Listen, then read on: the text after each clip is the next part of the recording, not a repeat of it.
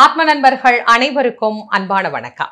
நம்முடைய ஆத்ம மயம் யூடியூப் சேனல்ல தொடர்ந்து நம்ம பல பதிவுகள் பார்த்துக்கிட்டு இருக்கிறோம். நவராத்திரியினுடைய சிறப்பு பதிவுகளாக. இன்னைக்கு நவராத்திரியினுடைய எட்டாவது நாள். இந்த எட்டாவது நாள்ல நாம் அம்பிகையை எவ்வாறெல்லாம் வழிபாடு பண்ணணும்? இந்த நாளினுடைய சிறப்புகள் என்ன? இன்னைக்கு என்னெல்லாம் நம்ம நைவேத்தியம் பண்ணலாம்? அம்பிகையை வழிபடக்கூடிய அந்த அற்புதமான விஷயங்களை பத்தியெல்லாம் இன்னைக்கு இந்த பதிவுல பார்க்கலாம் வாங்க.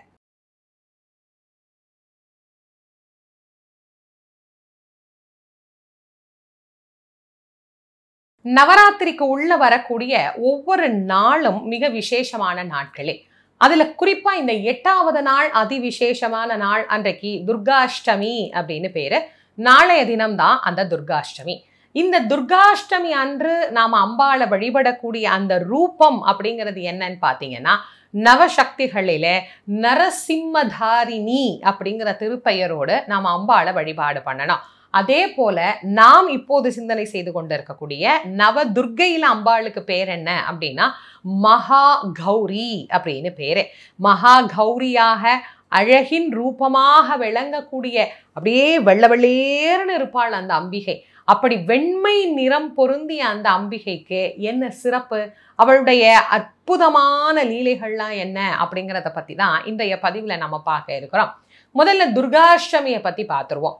அஷ்டமி அப்படின்னாலே ஆவாது அப்படிங்கிறது எல்லாத்தையும் மாற்றி துர்காஷ்டமி அப்படிங்கிறது வெற்றியை தரக்கூடிய நாள் அப்படிங்கிறது எல்லோரும் அறிந்த ஒரு விஷயம்தான். பொதுவாகவே வரக்கூடிய அஷ்டமி காலத்துல நாம அம்பாளை அதிலும் இந்த துர்க்கை அம்பாளை வழிபாடு பண்றது அப்படிங்கிறது அதி விசேஷமான பலனை நமக்கு பெற்றுத்தரக்கூடியது நவராத்திரி காலத்துல வரக்கூடிய இந்த துர்காஷ்டமி அன்று துர்க்கை லக்ஷ்மி சரஸ்வதி மூன்று தேவிமார்களையும் நாம் இணைத்து வழிபாடு செய்தோம் அப்படின்னா அந்த வழிபாடு அவ்வளவு உயர்ந்த வழிபாடாக இருக்கும். அதனால நாளைய தினம் ராகு கால நேரத்துல கூட நாம இந்த பூஜையை செய்யலாமா அப்படின்னா தாராளமாக செய்யலாம். ஏன்னா ராகு கால பூஜை நேரத்துல துர்காஷ்டமியை நாம கொண்டாடுறதுங்கிறதும் ரொம்ப ரொம்ப விசேஷமானதுதான். அதனால முதல்ல துர்காஷ்டமியை பற்றிய தகவல்களை உங்களுக்கு கொடுத்துருக்கேன்.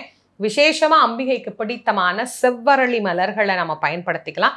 சிகப்பு நிறத்துல இருக்கக்கூடிய செம்பருத்தி பூவும் நாம வந்து அர்ச்சனைக்கு இணைத்து கொள்ளலாம். இதெல்லாம் துர்காஷ்டமி நாளில் அம்பிகைக்கு நாம் செய்யக்கூடிய வழிபாடு. குங்குமத்தால நாம் அர்ச்சனை செய்து அம்பிகையை வழிபட்டு மகிழலாம். இப்படி நாம் செய்கிற போது எடுத்த காரியத்துல எல்லாம் தடை ஏற்பட்டு ஒன்றை செய்கிறோம் ஆனா அது நடக்க மாட்டேங்குது. தடையாவே இருக்குன்னு சொல்றோம்ல அது அனைத்தும் நீங்கி வெற்றி அப்படிங்கிறது அந்த செயல்ல கண்டிப்பாக கிட்டம். இந்த துர்காஷ்டமி வழிபாட்டையும் யாரெல்லாம் பண்ணணும் அப்படின்னு நினைக்கிறீங்களோ கொலு வச்சிருக்கிறவங்க வைக்காதவங்கன்னு அனைவருமே இந்த நாளில் வழிபாடு செய்து கொள்ளலாம். சரி இன்றைய நாளுக்குரிய அம்பிகையினுடைய சிறப்புகள்லாம் என்ன அப்படிங்கிறத பார்க்கலாமா?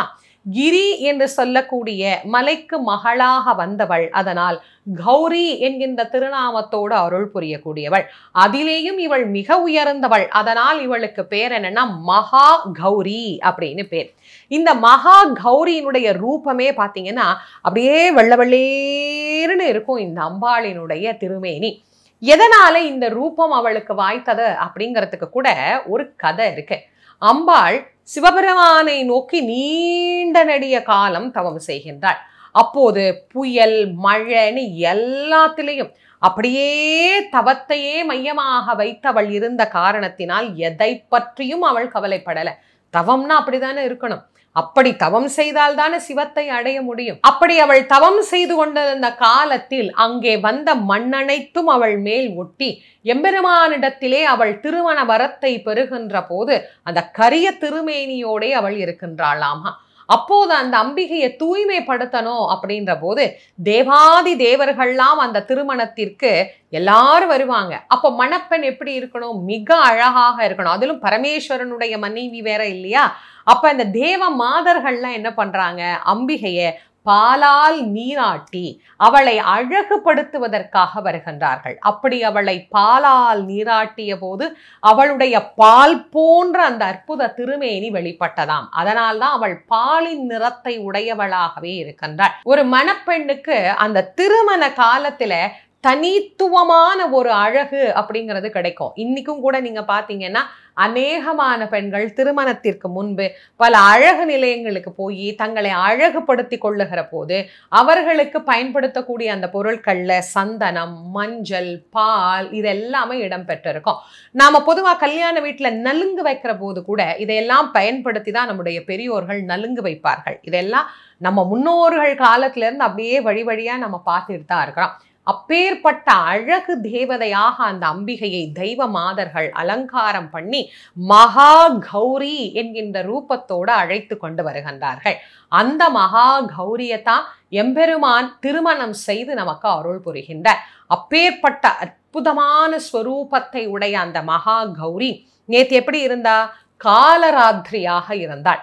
இப்போது அசுர சம்ஹாரம் எல்லாம் முடிச்சு அப்படியே அழகிய கௌரியினுடைய ஸ்வரூபத்தை அவள் பெறுகின்றாள். இப்போ நிறைய பேர் நினைக்கலாம் இந்த நவராத்திரியில மூன்று நாட்கள் நாம வழிபாடு செய்யக்கூடியது யார அப்படின்னு பார்த்தீங்கன்னா சரஸ்வதி தேவிய தானமா ஆனா இதுல பராசக்திக்கு உரிய விஷயங்களா நம்ம பார்த்துக்கிட்டு இருக்கிறோமே. அப்போ சரஸ்வதி தேவியை பத்தி தானே இந்த மூணு நாளும் நாம நினைக்கணும். பேர் கூட அப்படித்தானே வரணும் அப்படின்னு நீங்க நினைப்பீங்க. சக்தி என்பவள் ஒருவளே.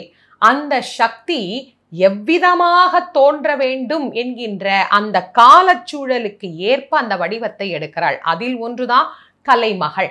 எங்கே சக்தியை ஆராதிக்கின்றோமோ அங்கே கலைமகள் என்பவள் தானே வந்து குடியிருப்பாள் அப்படிங்கிறத ஆதிசங்கரர் நமக்கு மிக அழகாக எடுத்துரைக்கின்றார். ஆதிசங்கரர் சௌந்தரிய லகரியில சிறப்பான ஒரு பகுதியை நமக்கு சொல்றார். அம்பாள் என்ன பண்றாளாம் தான் தவம் நோக்கின்ற போது சிவபெருமானுடைய நாமத்தை இடைவிடாது தொடர்ந்து ஜபித்து கொண்டே இருக்கிறாளா? அப்படி அம்பாள் ஜபித்து கொண்டே அதாவது மலைமகளாகிய பார்வதி அப்படி ஜெபித்து கொண்டே இருக்கிற போது அவளுடைய நாவில் சரஸ்வதி வந்து இருந்து அருளுகிறாள் அப்படின்னு சொல்றார். அப்போ பார்வதியினுடைய நாவிலேயே குடியிருப்பவள் யாரு அப்படின்னா சரஸ்வதி தேவி தானே. அப்ப அந்த தேவிகளுக்குள்ள என்ன பேதம் இருக்குது? ஆக எந்தெந்த காலத்தில் எந்தெந்த ரூபத்தில் அந்த அம்பிகை எப்படி வெளிப்பட வேண்டும் என்று நினைக்கின்றாளோ அப்படி வெளிப்பட்டு நமக்கு அருளை வாரி வழங்குகின்றாள். ஆக இந்த காலத்துல இந்த தேவியா அந்த தேவியா அப்படிங்கறதெல்லாம் விட்டுட்டு அம்பிகையினுடைய ஒவ்வொரு ரூபத்தையும் நாம ரசிக்கணும். ஒவ்வொரு அலங்காரத்திலையும் ஒவ்வொரு பேரிலேயும் ஒரு சிறப்பு இருக்கு. இன்னைக்கு எட்டாவது நாள் நாம விசேஷமா என்னெல்லாம் பண்ணணும் அப்படிங்கிறத பத்தி பார்ப்போம். துர்காஷ்டமிக்கு நான் சொன்ன வழிபாடுகளை எல்லாருமே செய்து கொள்ளலாம். நாங்க கொலு வைக்கல செய்யலாமா அப்படின்னாலும் நீங்க செய்து கொள்ளலாம். இது கொலு வைத்தவர்கள் என்னெல்லாம் பண்ணணும்? அகண்ட தீபம் ஏற்றினவர்கள் என்னெல்லாம் பண்ணணும்? அப்படிங்கிறதுக்கான பதிவு இது. அதனால என்ன நைவேத்தியம் பண்ணணும்? சுண்டல் என்ன பண்ணணும்? அப்படிங்கிறதெல்லாம் பாருங்க. மந்திரத்தை நான் கீழே வழக்கம் போல டிஸ்கிரிப்ஷன் பாக்ஸ்ல கொடுக்குறேன். நாம செய்ய வேண்டிய வழிபாடுகளை பத்தி பார்க்கலாம் வாங்க. நவராத்திரியினுடைய இந்த எட்டாவது நாள்ல அம்பிகைக்கு நரசிம்மதாரிணி அப்படின்னு பேரு. நவதுர்கையில மகா கௌரி அப்படிங்கிற திருநாமத்துல அழைக்கப்படுகின்றாள். இன்றைக்கு அம்பிகைக்கு பத்ம வகை கோலத்தை நாம இடலாம். மலர்கள்ல இன்றைக்கு ரோஜா மலரும் இலையில மருதாணி இலையும் இன்னைக்கு நாம வந்து அர்ச்சனைக்கு பயன்படுத்திக்கலாம். நெய்வேத்தியமாக பால் சாதமும் பழத்துல திராட்சையும் சுண்டல்ல மொச்சை பயிறு சுண்டலும் ராகத்துல புன்னக வராளி ராகத்தை இன்னைக்கு நாம இசைக்கலாம். நிறத்துல பச்சை அரக்கு பயன்படுத்திக்கலாம். இந்த மகா கௌரி அப்படிங்கிற தேவிய இன்னைக்கு நாம இவ்வாறெல்லாம் வழிபாடு பண்ணிக்கலாம். இந்த அம்பிகையினுடைய ரூபம் அப்படின்னு பாத்தீங்கன்னா நான்கு திருக்கரங்களை உடையவளாகவும் வெள்ளை காலை வாகனத்தில் எழுந்தருளி வரக்கூடியவளாகவும் இந்த அம்பிகை காட்சி தருகின்றாள். இந்த அம்பிகையினுடைய அற்புதமான மகா கௌரி என்று சொல்லக்கூடிய இந்த ரூபத்துல இன்னைக்கு நாம இந்த அம்பாளை வழிபாடு செய்கின்ற போது எவ்வகையான ஆற்றல்கள் யோக நிலையில நமக்கு கிடைக்குது அப்படின்னா சுவாதிஷ்டான சக்கரத்தை மேம்படுத்துகிற தன்மையை இவள் நமக்கு தருகிறாள் அப்படின்னு சொல்லப்படுகிறது. இந்த அம்பிகையினுடைய வழிபாட்டு பலன்கள் என்ன? அப்படிங்கிறதையும் நாம தெரிஞ்சுக்கணும் இல்லையா? இந்த நாள்ல இந்த அம்பாளை நாம வழிபாடு பண்ணினோம்னா நம்முடைய வாழ்க்கையில துன்பங்களை நீக்கி சுகமான இன்பமயமான ஒரு வாழ்க்கையை தருவாள். அது மட்டும் இல்லைங்க நமக்கு ஒரு பிரச்சனை அப்படின்னா உடனடியாக வந்து அருளக்கூடியவள் மகா கௌரி அப்படின்னு சொல்றாங்க. அதாவது இந்த பிரச்சனை அப்படின்னு சொல்லி முடிப்பதற்குள்ளாகவே அந்த தேவியினுடைய அனுக்கிரகம் அங்கே வந்து நமக்கு நின்று துணை புரியும். அதோடு மட்டும் இல்ல நம்முடைய மனதிலே எழக்கூடிய தீய எண்ணங்களை தீய சக்திகளை அழித்து நம்மை ஒரு தூய்மை நிறைந்தவர்களாக வாழ வைக்கின்ற எப்படி அவள் வெள்ள வெளியேர்னு இருக்கிறாளோ அது போல ஒரு வெள்ளை மனதோடு ஒரு தூய மனதோடு நம்மை வாழ வைக்கின்ற தேவியாகவும் இந்த தேவி நமக்கு அருளுகிறாள். அதோட இஷ்ட சித்திகளையும் நமக்கு அருளுகிறாள். சித்தினா வெற்றி அப்படின்னு அர்த்தம். எதை தொட்டாலும் நமக்கு வெற்றி கிடைக்கணும் இல்லையா? அந்த வெற்றியை அருளுகின்ற தேவியாகவும் இந்த அம்பாள் நமக்கு காட்சி தருகின்றாள். இத்தனை நலன்களையும் ஒரு சேர அருளுகின்ற அற்புத தெய்வமாக விளங்குகின்ற இந்த மகா கௌரிய நரசிம்மதாரிணி அப்படிங்கிற திருப்பெயர்களையும் நாம இந்த வழிபாடு செய்து மகிழலாம். துர்காஷ்டமியாக விளங்கக்கூடிய நாள்ல நாம் மனதில் என்னெல்லாம் நினைச்சோமோ அந்த எண்ணங்கள் அனைத்தும் ஈடேறணும் அப்படின்னு அம்பாளை உள்ளன்போடு பிரார்த்தனை செய்து கொண்டு எல்லோரும் எல்லா நலனும் பெறணும் அப்படின்னு அம்பிகையை நான் உள்ளன்போடு வேண்டி மகிழ்கின்றேன். இந்த பதிவு உங்களுடைய நண்பர்கள் உச்சார் உறவினர்களோட பகிர்ந்து கொள்ளுங்க. நம்முடைய ஆத்மஞான மயம் யூடியூப் சேனலை இதுவரைக்கும் நீங்க சப்ஸ்கிரைப் பண்ணலைன்னா பண்ணிக்கோங்க. மீண்டும் மற்றும் ஒரு சிறப்பான பதிவில் உங்கள் அனைவரையும் சந்திக்கும் வரை உங்கள் அனைவருக்கும் நன்றியும் வணக்கமும் கூறி விடைபெறுவது திருமுருக வள்ளல் வாரியார் சுவாமிகளின் மாணவி தேசமங்கையர்கரசி நன்றி. வணக்கம்.